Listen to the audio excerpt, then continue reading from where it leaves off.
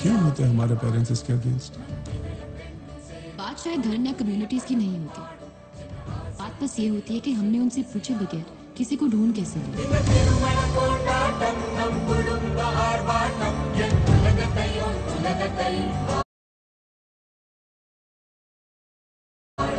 अगर मुझे किसी से प्यार हुआ तो इसका मतलब ये थोड़ी है कि उनके हिस्से का कम होगा। प्यार बटता नहीं, सबको पूरा पूरा मिलता है।